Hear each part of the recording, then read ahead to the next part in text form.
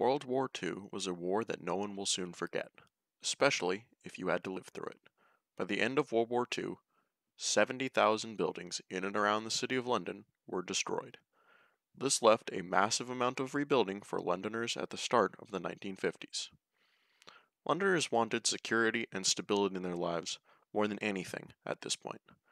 Their city and buildings had been reduced to rubble by German bombs.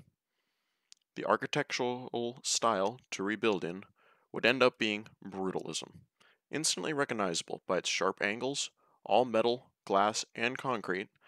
It has a distinct appearance that is hard to miss. Brutalism saw its rise as Europe rebuilt in the 1950s. The term brutalism itself was coined by Swedish architect Hans Asplund in 1950 when describing the Villa Goth house in Uppsala, Sweden. It is this harsh and grating simplicity that gives brutalism its name. It is a style that is so simple that it is aggressive in its unfinished and cold nature. Brutalism was in harsh contrast compared to the other major prevalent architectural design style of the time, this being Art Deco, which, unlike brutalism, covered up any structural aspects and had a very frilly look that was reminiscent of the Roaring Twenties. As brutalism spread, more buildings were rebuilt in this style. One hallmark of brutalism is the exposed structural aspects in the interior of the building while the outside is usually made up out of concrete.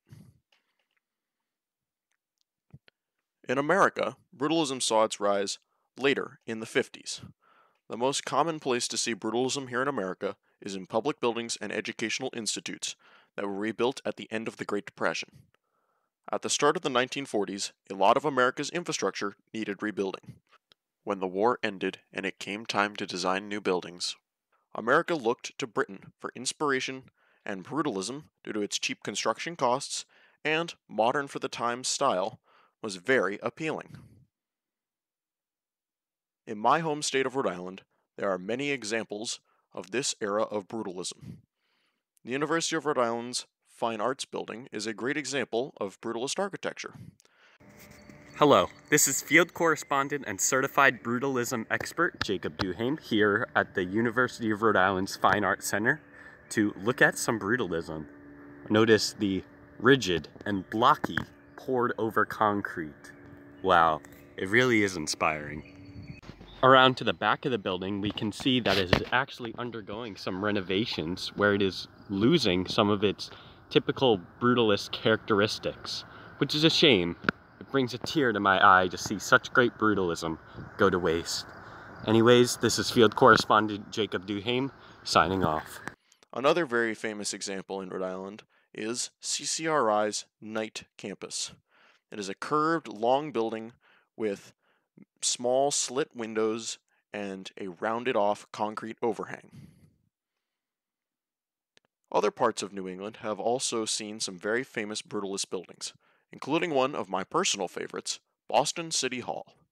Hated by some and loved by others, it is a very divisive building to this day.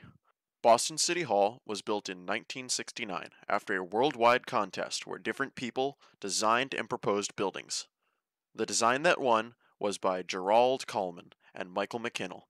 While hated by a lot of the public, the building was praised universally by architects and art critics.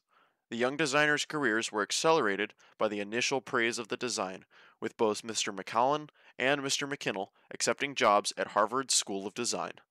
While there was some criticism of the building as it was being built, public opinion would not turn against it until later, when brutalism was far less popular. Today, brutalism is at risk of being misunderstood. In the 1950s, when London was being rebuilt, the style made sense to show people that London would stand up strong with these monolithic concrete buildings. Today, people often regard them as eyesores on the modern sleek skyline due to their aggressive nature. It is unfair to judge these buildings by the standards and styles of our time, when asked to look at brutalism from the view of the people in the 1950s and the style that existed then.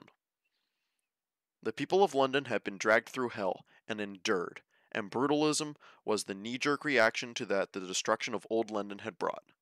People think that brutalism is just too harsh for people to live or work in, but often they miss the point of the design. It was supposed to be harsh and grating in design, but comforting in its firm and rigid design layout. It is important to preserve a piece of this post war past for future generations. Thank you.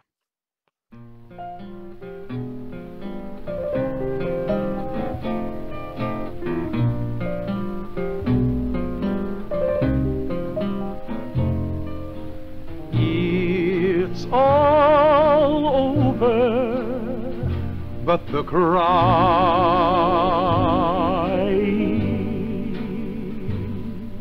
and nobody's crying but me.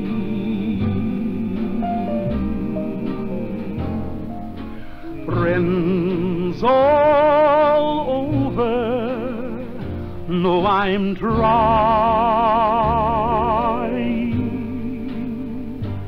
to forget about how much I care for you.